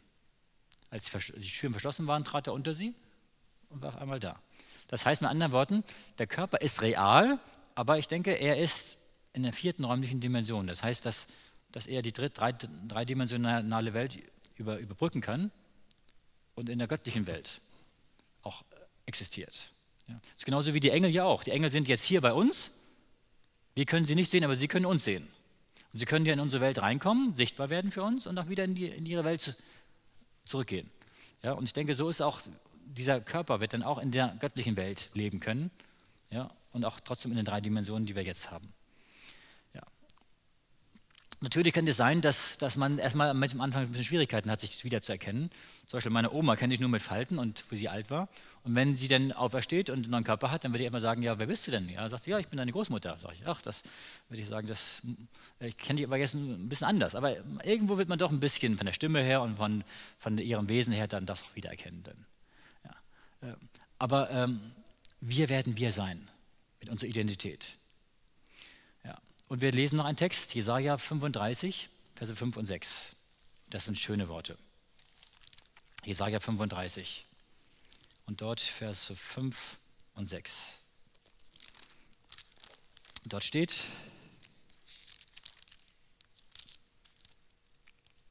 dann werden die Augen der Blinden aufgetan und die Ohren der Tauben geöffnet werden. Dann werden die Lahmen springen wie ein Hirsch und die Zunge der Stummen wird frohlocken. Denn es werden Wasser in der Wüste hervorbrechen und Ströme im dürren Lande. Die Augen der Blinden werden geöffnet was muss das für ein Gefühl sein, wenn jemand blind ist, Jesus kommt wieder, weil man kann er sehen. Das Erste, was er sieht, die Herrlichkeit Jesu, Jesu Angesicht, Jesu Augen. Wenn jemand stumm ist, Jesus kommt wieder, er, bekommt einen neuen Körper und das Erste, was er sagen wird ein Lob zum Ehre Gottes. Wenn jemand lahm ist, oder wenn jemand taub ist, Jesus kommt wieder, er bekommt einen neuen Körper. Das Erste, was er hört, dass Jesus zu ihm sagt, kommt her, ihr Gesegneten des Vaters, er habt das Reich. Gerade für Menschen, die behindert sind, die nicht laufen können,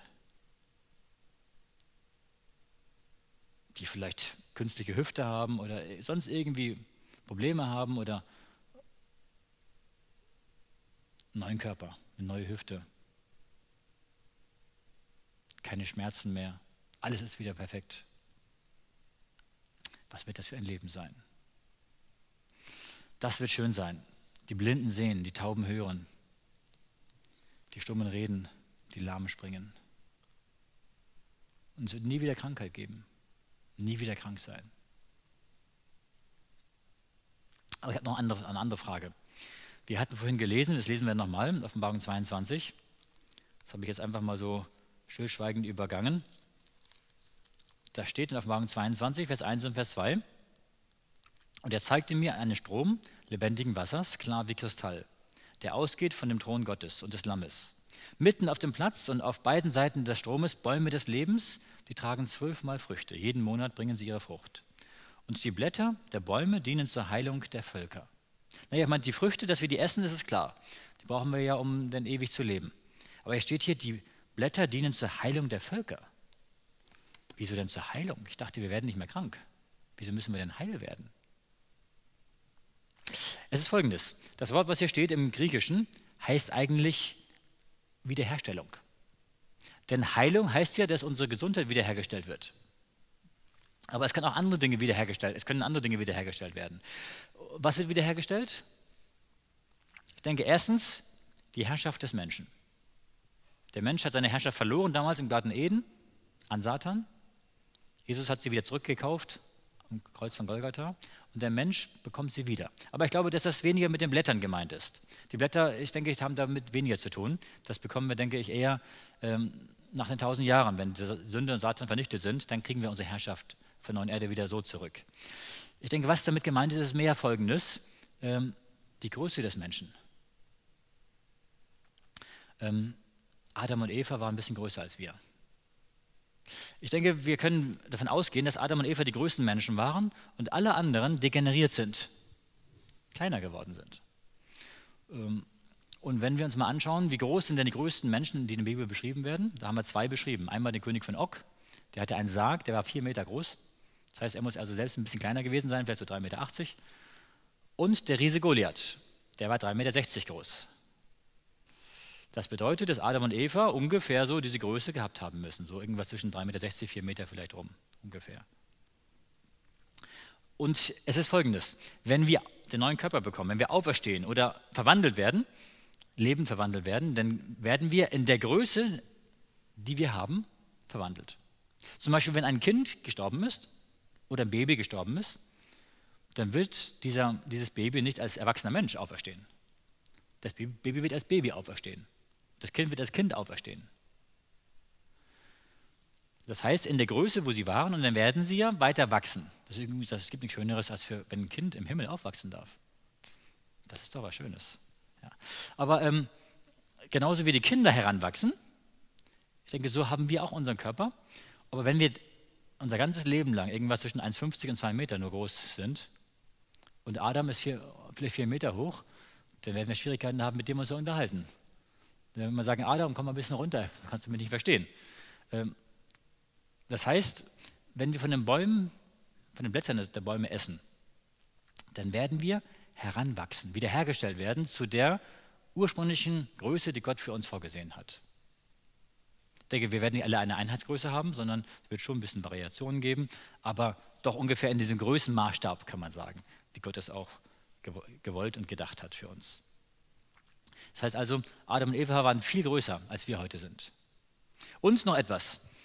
Ähm, einige Wissenschaftler sagen und vermuten, dass wir unseren Verstand heute zu maximal 10% ausnutzen können.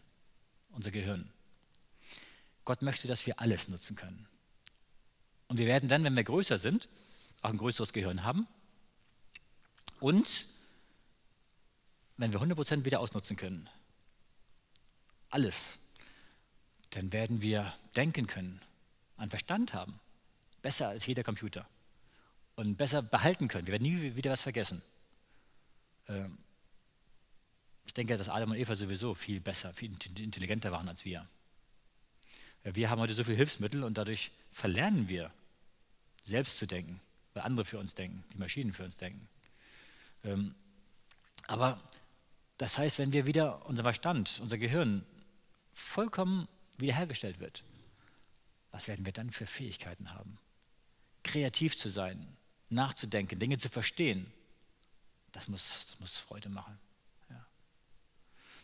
Und was wir dann verstehen werden und erkennen werden, das wird die Erkenntnisse dieser Wissenschaft der heutigen Zeit weit, weit übertreffen. Ja, ja reale Körper. Nahum 1, Vers 9. Das ist der Text, den ich eben schon mal angekündigt habe, den wir jetzt mal lesen wollen.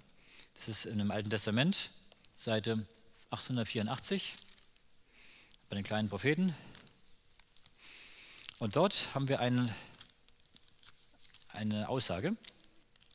Dort heißt es, was wollt ihr ersinnen, wieder den Herrn? Er führt doch das Ende herbei. Es wird das Unglück nicht zweimal kommen. Das ist gemeint hier, mit Unglück ist gemeint das Unglück der Sünde. Das heißt, wenn wir bei Gott sind in der Ewigkeit, wird es keinen neuen Sündenfall mehr geben. Die Sünde wird nie wieder aufkommen. Das ist eine Verheißung, die wir haben dürfen, dass wir wissen können, Satan und die Sünde sind endgültig besiegt. Und die Sünde wird nicht deswegen aufkommen, weil wir nicht mehr sündigen können. Doch, wir können, wenn wir wollen. Aber wir werden es nicht mehr, weil wir, weil wir so eine Abscheu davor haben, dass wir keine Versuchung mehr Richtung Sünde haben und auch gar nicht mehr das wollen. Dass wir die Sünde verabscheuen, hassen und deswegen auch nie wieder tun werden. Ja, das erste war, der Himmel ist ein realer Ort, die neue Erde ein realer Ort. Das zweite, wir werden reale Körper haben. Und das dritte, wir werden reale Tätigkeiten ausführen. Wir lesen Jesaja 65, Verse 17, 21 und 22. Jesaja 65, Vers 17, Vers 21 und 22. Dort steht: Denn siehe, ich will einen neuen Himmel und eine neue Erde schaffen dass man der vorigen nicht mehr gedenken und sie nicht mehr zu Herzen nehmen wird. In 21, sie werden Häuser bauen und bewohnen, sie werden Weinberge pflanzen und ihre Früchte essen. Sie sollen nicht bauen, was ein anderer bewohne und nicht pflanzen, was ein anderer esse. Denn die Tage meines Volkes werden sein wie die Tage eines Baumes und ihre Hände Werk werden meine Auserwählten genießen. Ja, hier spricht also Jesaja von der neuen Himmel und der neuen Erde. Übrigens, hier steht, sie werden der vorigen nicht mehr gedenken. Warum nicht? Ich glaube, es hängt damit zusammen. Ich glaube, dass wir, wenn wir auf der neuen Erde sind, nicht mehr uns an die Einzelheiten der alten Erde zurückerinnern. Wir haben tausend Jahre Zeit im Himmel, alles aufzuarbeiten, was hier gewesen ist. Alle Sünden und alle, alle Schlechtigkeit und alle, alle Missverständnisse und alle Probleme und alles, das ganze Leben, alles, was damit zusammenhängt. Haben wir alles aufgearbeitet und alle Dinge geklärt. Stellen Sie sich vor, wir würden in der Ewigkeit, in ein paar Millionen Jahren, irgendwann sagen, ja, damals habe ich auf der Erde das und das gemacht, das war so eine schlimme Sache. Das würde uns doch belasten irgendwie. Das heißt, ich, glaube, dass Gott uns die Erinnerung an die einzelnen Sünden, die wir gemacht haben, wegnehmen wird. Wir werden nicht mehr, wie es hier steht, nicht mehr daran denken. Wir werden noch wissen, es gab Sünde. Wir werden wissen, wie schlimm die Sünde war. Ich glaube, das Einzige, was wir noch sehen werden von der Sünde, das ist die Nägelmale Jesu in den Händen. Die wird er behalten. Die Narben, die er hat. Ja, dass wir wissen, Jesus ist für uns gestorben. Er ist für unsere Sünde gestorben. Und hat sein Leben für uns gegeben, damit wir erlöst sein können. Deswegen die neue Erde. Und ich glaube, wenn es, wenn es Offenbarung 21 steht, Gott wird abwischen alle Tränen von ihren Augen. Wenn Gott die Tränen abwischen wird, dann heißt das, dass wir nicht mehr traurig sind darüber. Und das bedeutet auch, dass wir die Erinnerung daran Gott uns ja, ich denke, nehmen wird. Aus Gnade. Wir werden wissen, wir haben gesündigt, aber nicht mehr genau die Einzelheiten. Ja, die, die belasten uns dann nicht mehr und werden nicht mehr für uns relevant sein. Was werden wir tun? Hier steht, sie werden Häuser bauen. Ja, warum denn Häuser bauen? Ich dachte, die baut Jesus für uns. Haben wir doch eben gelesen, im neuen Jerusalem. Naja, es ist so, wir haben ja das neue Jerusalem, wo schon die Wohnungen für uns fertig sind, vorbereitet sind. Und wir haben ja die ganze neue Erde, die ist ja noch viel größer als das neue Jerusalem. Da werden wir also eine Wohnung in der Stadt haben, im neuen Jerusalem, und eine Wohnung außerhalb. Und die werden ja selber bauen. Warum selber bauen? Na, weil jeder einen eigenen Geschmack hat. Der eine baut lieber rund, der andere lieber eckig, der eine grün, der andere lieber blau oder, oder, oder, oder, oder braun. Ja? Ähm, und das wird dann schon, ja, das, das wird schon schön werden. Also ich denke, ich werde mein Haus so ein bisschen auf so einem Hügel bauen. Ähm, Schlafzimmer brauchen wir ja nicht mehr. Das ist, äh, aber eine große Terrasse werde ich haben. Große Terrasse, wo man dann schön draußen sitzen kann. Und dann so ein bisschen so, so eine Wiese darunter, denn, wo man ein bisschen runtergucken kann. Unten so ein Teich, äh, so ein paar, paar, Enten und so ein paar, ein paar Kraniche und so rum, rumlaufen und so. Auf, auf jeden Fall, ähm, und wo man dann so, ja, wo man auch so ein bisschen sich so schön machen kann, dann so gemütlich machen kann. Natürlich auch eine Küche dabei, wo man auch ein bisschen was Essen zubereiten kann, das ist was Schönes. Ja, und da werde ich euch alle einladen. Ja. Und dann setzen wir uns so zusammen und dann, ähm, und dann werden wir sagen, wisst ihr noch, damals in Mannheim, da haben wir zusammen gesessen und haben so nachgedacht, wie es das mal sein wird. Und jetzt ist es Wirklichkeit. Jetzt sind wir da. Jetzt, jetzt können wir es genießen, was Gott uns gegeben hat. Das wird fantastisch sein. Ja. Und es wird uns nie langweilig werden. Wir werden Weinberge pflanzen, steht hier und ihre Früchte essen. Und hier steht extra dabei, wir werden nicht pflanzen, was ein anderer isst. Was wir heute manchmal haben, ist, wenn wir beruflich tätig sind, wenn man irgendwo am Fließband steht, vielleicht bei, bei Audi oder so, äh, dann baust du den ganzen Tag immer irgendwelche Teile zusammen, aber das Ergebnis, das machen andere Leute, die fahren andere mit dem Auto rum. Also ich habe selber nichts von dem, was ich mache, habe ich nichts von. Ich bekomme Geld für meine Arbeit, aber ich habe zu dem Produkt, was ich herstelle, keine Beziehung. Äh, Gott sagt, das, was wir tun, wo wir uns für einsetzen, das werden wir auch selbst genießen. Also so ein selbstgemachtes Brot schmeckt noch viel besser als ein gekauftes, weil man es selbst gemacht hat. Ja, auch wenn es vielleicht andere nicht schöner finden und besser finden, aber ich selbst finde es schöner und schmackhafter, weil es eben von mir gemacht ist. Oder wenn ich selbst ein Eis mache, ja, dann ist mein selbstgemachtes Eis eben ein selbstgemachtes. Das hat was Besonderes. Äh, das heißt, das ist etwas, wo Gott sagt, wir können selber das, was wir tun, das auch genießen. Natürlich kann ich auch dem anderen helfen, sein Haus zu bauen. Das ist keine Frage, ja, dass man sich gegenseitig auch unterstützt. Aber, ähm, aber wir werden da schon reale Tätigkeiten durchführen. Ich denke, die Ärzte sind dann arbeitslos. Die müssen sich eine neue Arbeit suchen, denn Krankheit gibt es ja nicht mehr. Aber predigen, das tun wir immer noch. Ja, also da werde ich ab und zu mal noch eine Predigt halten. Über Prophetie vielleicht auch noch mal, mal gucken. Ja. Ähm, und wir werden forschen. Forschen werden wir in Wissenschaft forschen, in die Biologie, in die Chemie. Wir werden Dinge erfinden, sicherlich. Also, aber wenn wir Dinge erfinden, wird es nicht wie jetzt sein, dass die Dinge wie so Autos und sowas auch, auch Schadstoffe ausstoßen, sondern es wird alles nur gut sein. Wir werden musikalisch, künstlerisch tätig sein. Wir werden singen können, Instrumente lernen, vielleicht neue Instrumente erfinden, die man dann auch irgendwo dann spielen kann. Und wenn, dann stellen Sie sich vor, wenn wir dann da mit Millionen von Menschen zusammen sind, Gottesdienst, und Millionen von Menschen loben Gott aus, von ganzem Herzen. Manchmal ist es jetzt schon so, wenn man auf so einer großen Konferenz ist und da vielleicht Tausende von Menschen da das gleiche Lied singen und das ist ein Lied, was so ein bisschen aus dem Herzen geht, dann ist es etwas, was uns innerlich aufbaut, was, ja, was uns, und Gott weiß, das Lob Gottes, der Mensch findet Selbsterfüllung in der Beziehung zu Gott und im Lob Gottes. Gott möchte nicht deswegen gelobt werden, weil er, weil er sich denn besser fühlt, wenn wir ihn loben. Gott weiß, wir fühlen uns besser, wenn wir ihn loben. Es ist für uns etwas Gutes. Und wenn ein großer Chor da ist, äh, das, das wird schon gewaltig klingen.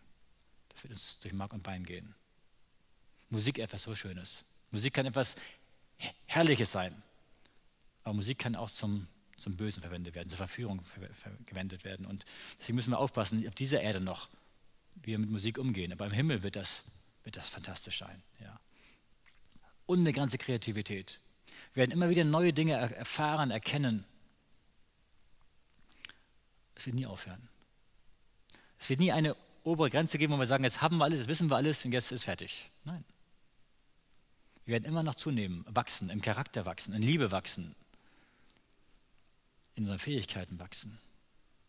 Wir werden andere Welten besuchen. Es gibt, wir wissen aus der Bibel, dass es noch andere Welten gibt, die nicht gefallen sind. Die werden wir dann besuchen, mit denen reden und sagen, ja, was habt ihr denn hier so gemacht? Und dann werden sie sagen, ja, das und das haben wir gemacht. Und dann werden wir sagen, ihr habt ja auch bei uns mal zugeguckt. Ja, sagen sie, wir haben genau gesehen, was ihr da immer gemacht habt.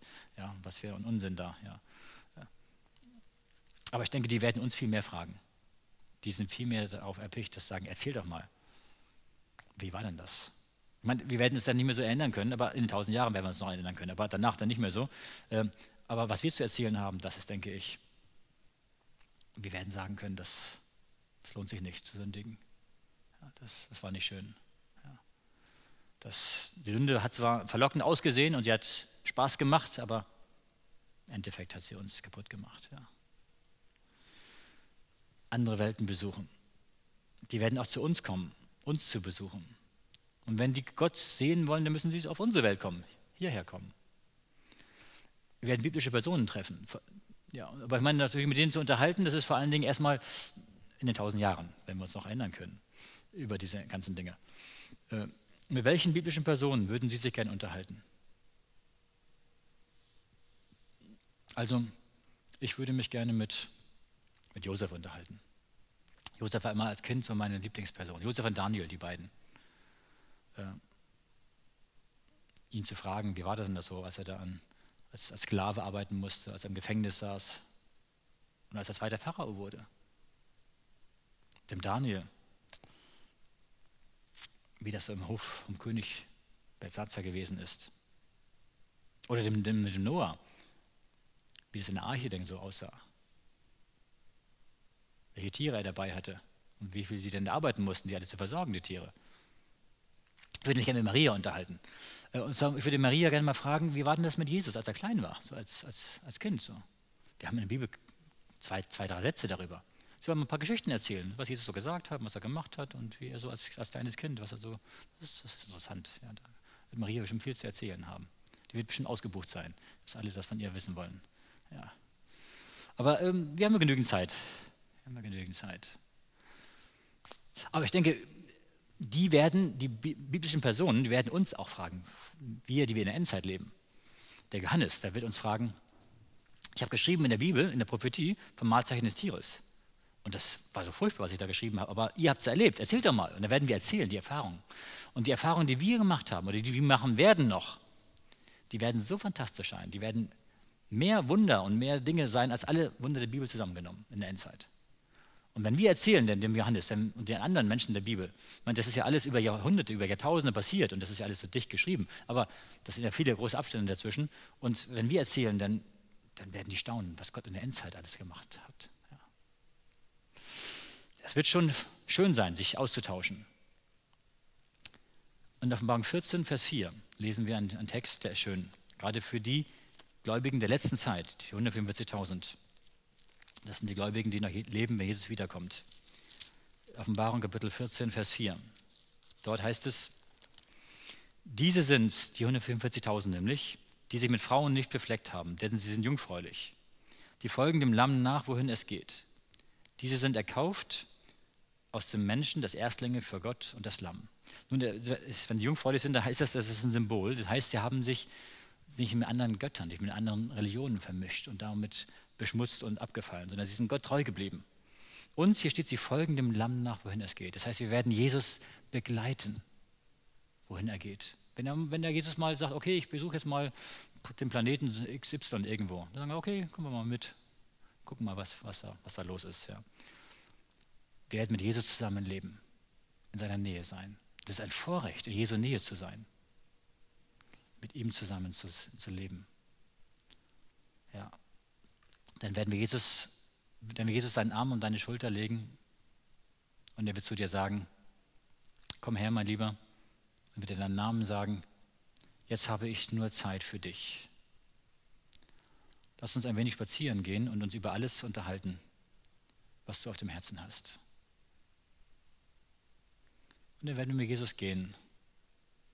Aber ich glaube, dann werden wir ihn nicht viel fragen. Wir werden ihm in den Hals fallen und sagen, danke, Herr Jesus. Danke. Danke, dass du am Kreuz gelitten hast, dass du meine Schuld getragen hast. Danke, dass du mich so sehr geliebt hast. Dass du auch für mich ganz persönlich, wenn ich der einzige Mensch wäre, der gerettet werden würde, wärst du auch für mich ganz persönlich gekommen und wärst gestorben. Danke, dass du das gemacht hast, damit ich jetzt in der Herrlichkeit bei dir sein darf. Und Jesus weiß genau unsere Vorlieben. Und wenn er weiß, du hast gerne weiße Nelken, dann wird er sagen, komm hier, ich habe gerade eine weiße Nelke für dich geschaffen. Extra für dich kannst du bei dir zu Hause hinstellen, damit du an mich denkst, damit du weißt, dass ich dich lieb habe. Und wenn er weiß, dass ich gerne, dass ich gerne Melonen esse, dann wird er sagen, komm hier eine Melone, das ist extra für dich, besonders süß heute. Ja. Er wird genau unsere Bedürfnisse kennen und er wird genau das uns geben, was wir brauchen. Ich denke, es wird nichts Schöneres geben, als in Jesu Angesicht zu sehen, in seine Augen zu blicken, die voller Liebe sind voller Mitgefühl. Jesus hat gesagt in seinem, in seinem Gebet, Johannes 17, Vater, ich will, dass die du mir gegeben hast, dass die bei mir sein. Jesus möchte, dass wir bei ihm sind. Er sehnt sich danach, mit uns Gemeinschaft zu haben. Und deswegen möchte ich dort sein. Weil ich weiß, da ist ein Herz, das mich liebt. Da ist jemand, der sich nach mir sehnt. Da ist jemand, der, der Verlangen danach hat, mit mir zusammen dort zu leben. Jesus liebt uns mehr, als wir ihn je lieben können. Deswegen hat er eine größere Sehnsucht zur Wiederkunft, als wir sie je haben können. Jesus würde lieber heute als morgen wiederkommen. Aber er wartet noch, weil er noch andere Menschen, die auch noch gerettet werden möchte, die er auch liebt, die möchte er auch noch retten. Und er möchte, dass wir dabei helfen, dass wir solche Menschen finden, dass sie auch mit uns gemeinsam bei Gott in der Ewigkeit sein dürfen. Es ist schade um jeden Menschen, der diese Herrlichkeit verpasst. Wie viel ist ein Mensch wert?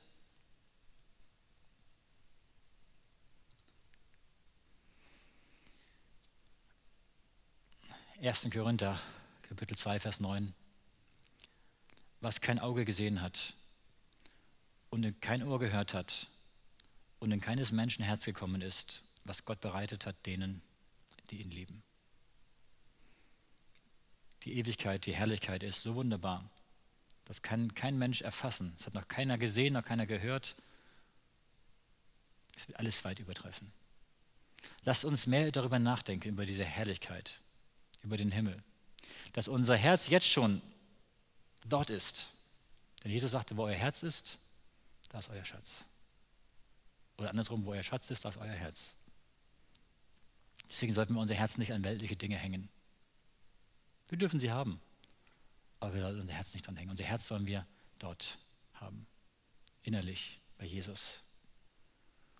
Und je größer unsere Liebe zu Jesus wird, desto größer wird unsere Sehnsucht, ihn zu sehen, mit ihm zu leben, nach Hause zu gehen, in sein Reich.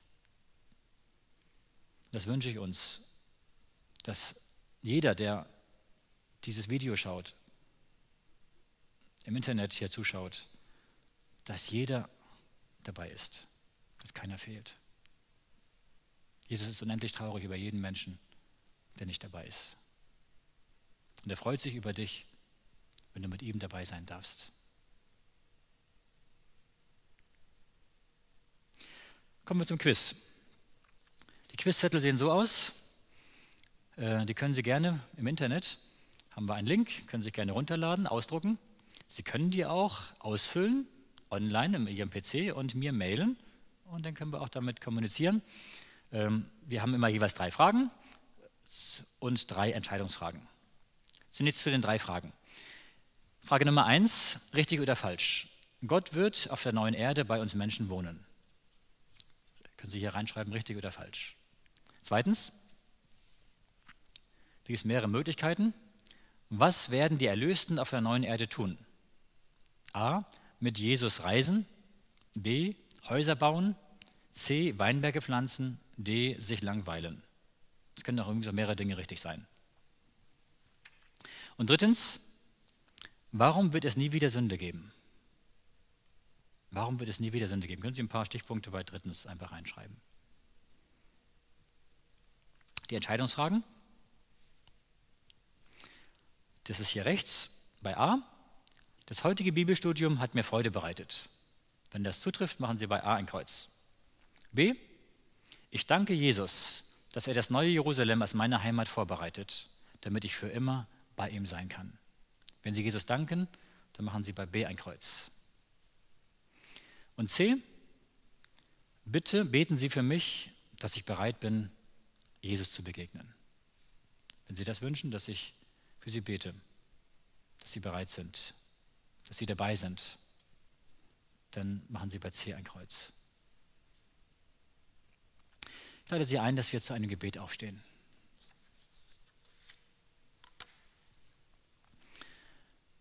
Himmlischer Vater, Herr Jesus Christus, wir möchten dir von ganzem Herzen danken. Wir danken dir, dass du uns erlöst hast, Herr Jesus Christus, dass du unsere Schuld getragen hast, dass du, dass du für uns gestorben bist. Wir danken dir, dass du für uns diese Herrlichkeit vorbereitest. Wir danken dir, dass du uns in deinem Wort schon ein klein wenig zeigst, was da kommen wird. Wie schön das sein wird. Herr, hab Dank für, für das, was du getan hast und was du tust. Hab Dank für deine Liebe, die wir jeden Tag erkennen dürfen. Herr, wir sehnen uns danach, bei dir zu sein. Wir bitten dich, Herr Jesus, komm doch bald. Mach mit dieser Welt, mit dem Leid, mit der Sünde, mit, dem, mit der Krankheit und mach doch bald ein Ende. Dass wir bald nach Hause gehen dürfen. Dass wir dich bald sehen dürfen von Angesicht zu Angesicht. Herr Jesus, wie schön wird das sein, dich zu sehen. Wir haben Sehnsucht danach, wir haben Verlangen danach. Aber wir bitten dich, hilf, dass noch, noch andere Menschen den Weg finden, dass noch andere Menschen mit uns gemeinsam dort sein dürfen. Und hilf uns, dass wir auch mit dazu beitragen können, dass andere den Weg zu dir finden. So segne du uns, hilf, dass wir dir treu bleiben bis zum letzten Tag. Und hab Dank dafür. In Jesu Namen. Amen. Herzliche Einladung zu unserem nächsten Thema das Thema Nummer 10, die zehn Gebote Gottes Grundgesetz. Ein sehr wichtiges Thema. Ich, darf, ich freue mich, Sie wieder begrüßen zu dürfen. Machen Sie es gut. Bis dahin.